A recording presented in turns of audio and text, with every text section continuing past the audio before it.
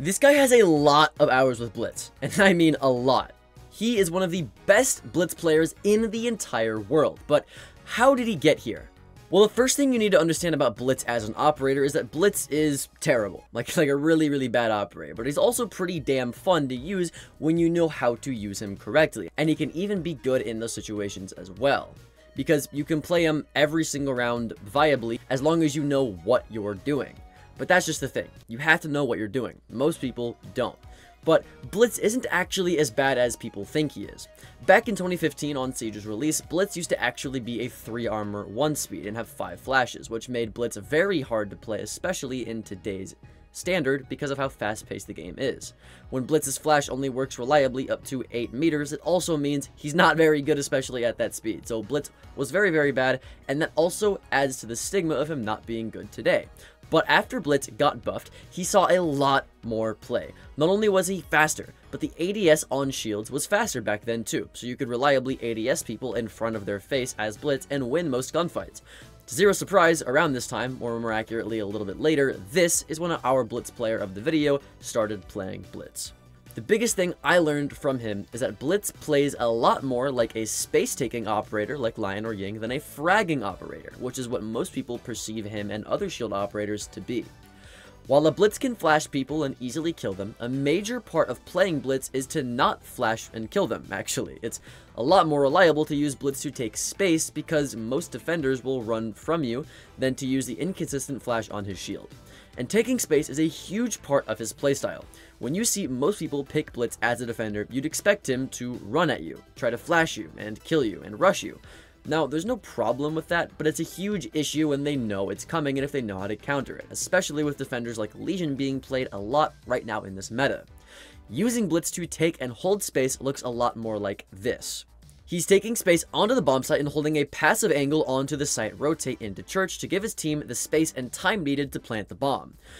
Now, when Legion opens up a rotate next to him on the right, he pulls out his shield, stops ADSing to not let him have the space whenever they're trying to get the space that they're trying to control to get the plant down. This, in other words, is called zoning, which I've made countless videos on. Something else players never expect is for you to pull your pistol out, ADS, and shoot them, which is exactly what he does immediately after to that poor Legion that made the rotate on the right.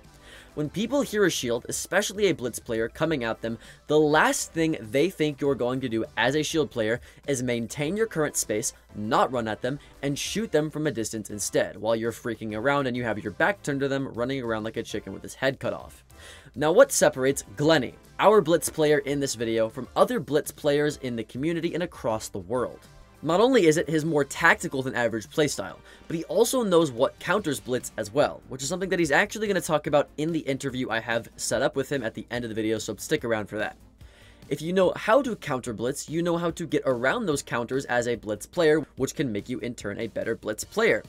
Glenny, our shield player, also typically sets up cameras before he goes in anywhere to find an open space he can take control of, like in this clip here. Door clear. Turn stairs real quick. clear. Yeah. He must have. Swing in, swing in boxes. Nice, dead. It's not muted or anything. Top yellow, It's top white, yellow, white, top yellow, yellow, yellow. Behind the pillar, behind the pillar. Dead yellow. One's we're coming to you, waiting. Two waiting, two, uh, one waiting, one initiation. I'm Waiting door, waiting door. planning Last default, one waiting. default, planning default. 25, Waiting, going towards dragon. 50, 75, down. Fucking castled off. And also in this clip here. No. Top shark, solo's top shark. Uh, Nah.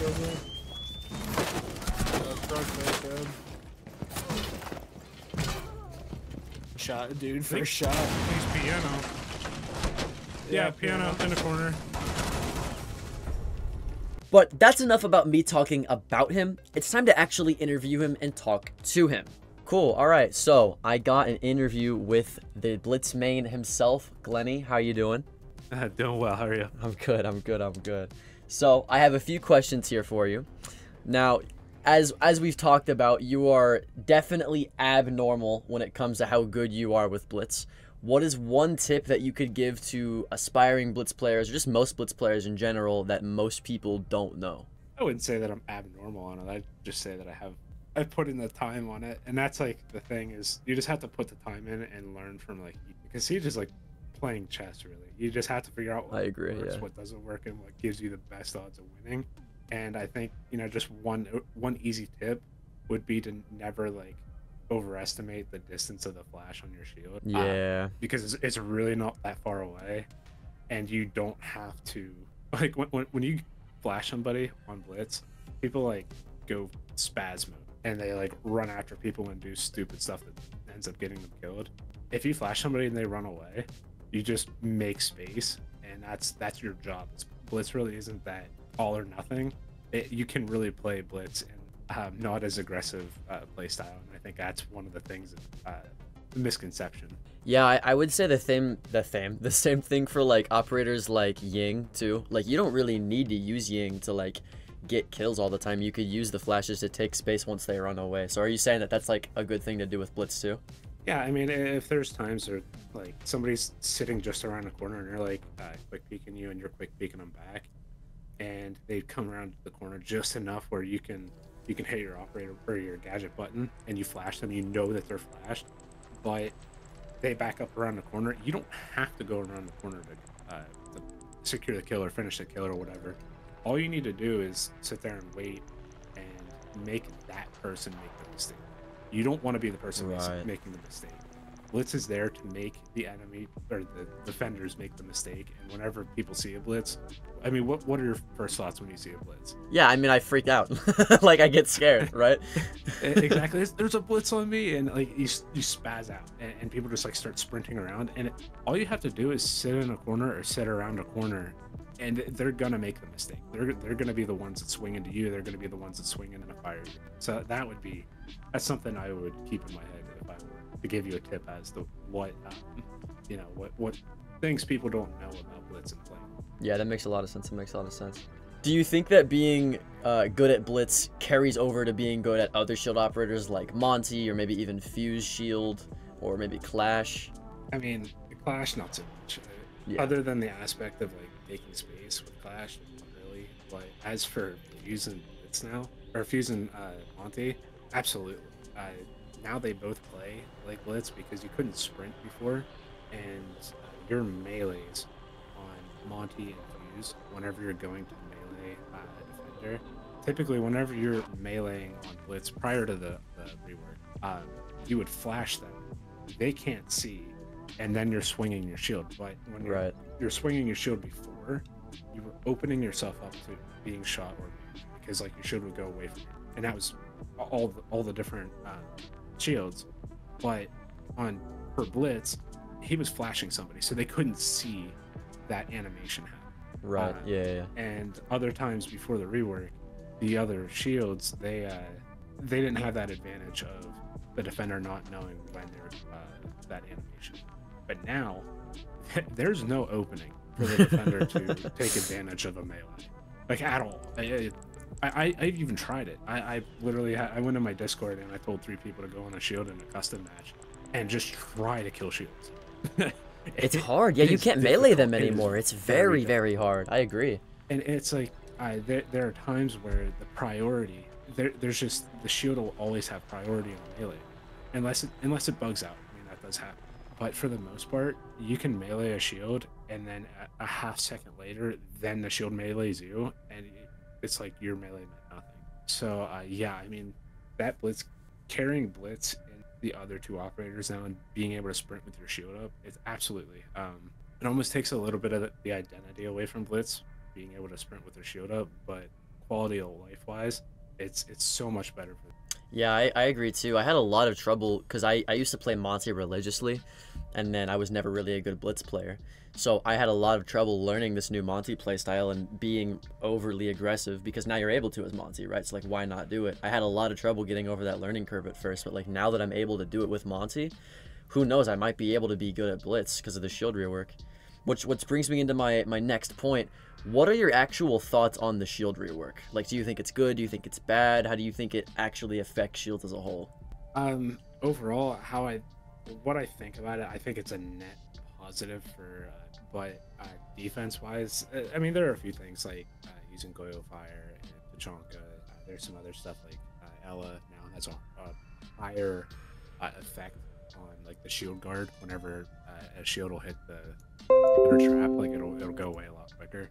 Um, but overall, it's as a defender, it's hard. It's hard to, to kill a shield, and all all the years that I've been playing shields, it's funny to see whenever I play blitz and then I, I take a dump on somebody and they get all mad and then we swap sides and then they run a shield at me. It's like easy because it's it's it's a free kill for me for three rounds because I know what kills a shield. And they don't they don't have that experience. So like they're they're throwing whenever they pick a shield against me. Yeah, something now, else that I like um, learning shields as well is like if you learn how to counter shields, you will be so much better at playing a shield as well because you know exactly what counters you.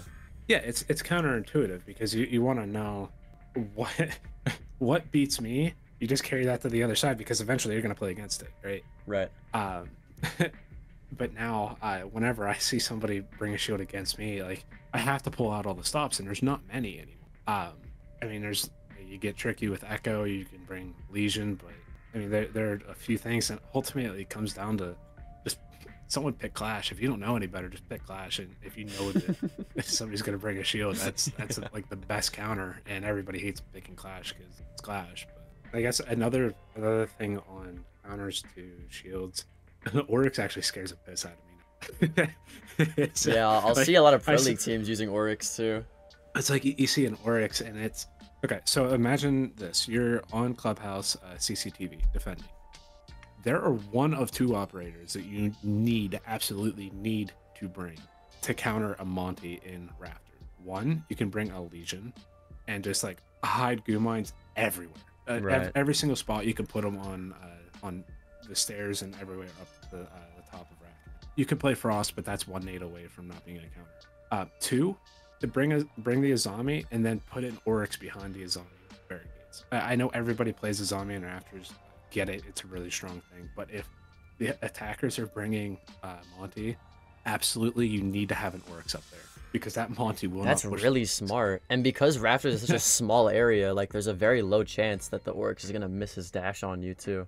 Yeah, and and it's just it's it's another zoning thing that uh, the Monty won't even have the nuts to push the Oryx, and, and that's just the way it is. And it's it's one of those two operators, and, and there's no real other way to counter. Um, just a Monty just shoving his face in whoever's in raft. I mean, it's it's it's to the point where even if they put two or three people in rafters, I'm still taking. Rafters. Yeah, I, I play Monty all the time. Like I, I personally love Monty. Me and Kudos are like the Monty duo right now. Dude, I just push Rafters every time they go CC, and there's not a round that I lose when I do that, because people don't know how to counter yet. Even with Legion, like if I have the wall open to my right and they can shoot the Azami while I'm pushing her, it's so free. And like you said, there's only really two counters to Monty right now, so like it's just so broken. Yeah, and even if if you're sitting there as the shield and you're just sitting on the top of rafters, again, you're just sitting there. They're going nuts. They're sprinting around trying to figure out a way to kill you. That's when they make a mistake. That's whenever they like run in the line of sight of the breach or like vault down over the rafters or or something.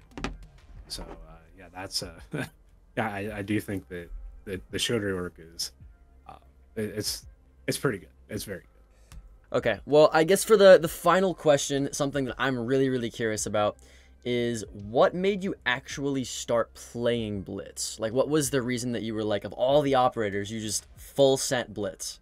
Well, I, I think originally I didn't really full send blitz. Um, I mean, I, I picked them every once in a while, and whenever I was starting, I, I start started in like Operation Chimera, I believe, um, and I rotated through different ops that I like to play. Um, but I kind of settled in on blitz because I never saw him being run, and it was sure. it was kind of you know it was one of those things on the salt meter where it made people upset whenever I did it. uh, it and it was fun, but I wanted to be different, and that's for whatever reason. It's just uh, it's just a, a funny thing to do, and I'd also played a lot of Overwatch. As horrible as that sounds to my uh, reputation, I did too. You're good. You're good. I'm going down with you. Yeah. So uh, I played a lot of Overwatch, and as you know, space is a massive thing. It's it's a yeah, if you're playing tank as well. Yeah, I get it. And it's not even that I played tank. It's just adjusting and utilizing that space to your advantage, and it's it's just a completely different way of winning. And again, it's playing chess. And playing Right. chess is so much more fun, and it, that's kind of like the Macy J attitude um, of things. Is playing chess and beating somebody just outright big braining people is way more, in my opinion, way more satisfying. Yeah. So whenever you just like straight up big brain somebody, it's so much more satisfying than just running around clicking heads. Like yeah, clicking heads is pretty cool, but whenever you just take away every every single option of, of the other team of getting a it's just it's so satisfying. I agree. That's the whole reason I play this game too. Is like, COD is fun, Modern Warfare is fun, like Fortnite's fun, sure. But with Siege, it's like I feel like it's like 80% strategy, and if you have the worst aim in the world, as long as you have like a big brain and you've played the game long enough, you will outsmart every single opponent you go against. I completely agree. And that's the thing is like once you get so many hours in the game, like you, you it begins to become like chess, and, and you know uh, the opponent's moves before they make them. And um, you know, I guess as for why I've just stuck with Blitz is, you know, I, I just wanted to be different, and uh, ultimately I just kind of want to be like. uh, You know, like the godly noob of Cav. but I just want to, I want to be the godly noob of Blitz. So that's that's kind of been my been my thing. It's, uh, to get to that point. So I mean, dude, I mean, like from my opinion, you kind of already are. I've talked to, to bigger content creators as well, and they they all have at least gone against you and know who you are. But for those of you that are watching this that don't know who he is, his name is Glenny on YouTube. You can find him. I'll put his links in the description right now. He has his own YouTube channel where he posts what like monthly, you'd say. I wouldn't go that far. I, I- I don't know. Weekly. Okay, weekly. I, Okay, no, okay, I, okay. I, try to post weekly. I've had some uh, some real life stuff going on. Uh, not anything crazy. I just, but yeah, I, I do I do try to post weekly, and I'm gonna be doing a guide on uh, the update and everything, and how to play shields uh, going forward in Siege. So uh, yeah, I appreciate you having me on, and uh, thank you. I hope you guys enjoy. All right, see you later. Now, as y'all got to see, Glenny is actually not only a good Blitz player, but he's a very good person as well, very down-to-earth guy, and I've actually known him for quite some time now, so if you want to check out more of him, he does post on YouTube, like I said earlier. I have all of his socials down in the description. You can literally just look up Glenny on YouTube. You will find his channel. If you want to learn how to be better at Blitz, don't watch my videos. Go and check his videos out. But with that out of the way, my name's Alka. If you want to check out more of my stuff, check out this next video, and I'll see you in the next one. Later.